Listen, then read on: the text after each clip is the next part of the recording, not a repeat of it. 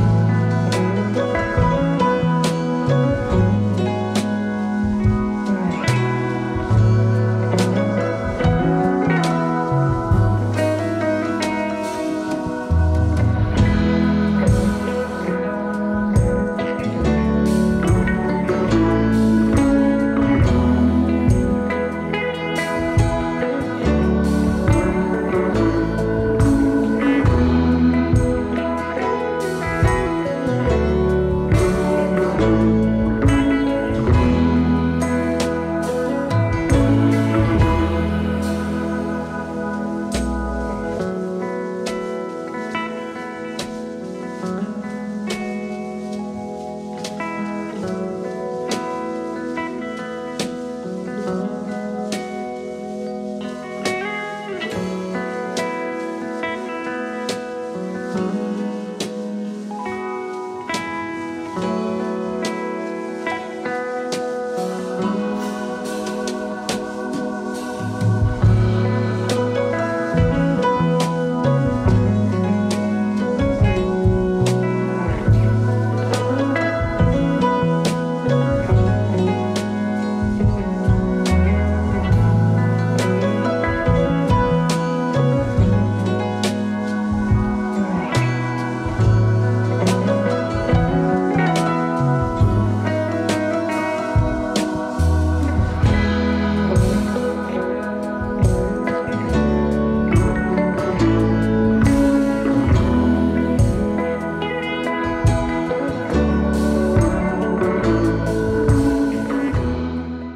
ご視聴ありがとうございました。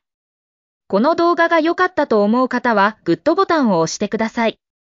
また、チャンネル登録の方もよろしくお願いいたします。それでは次回またお会いしましょう。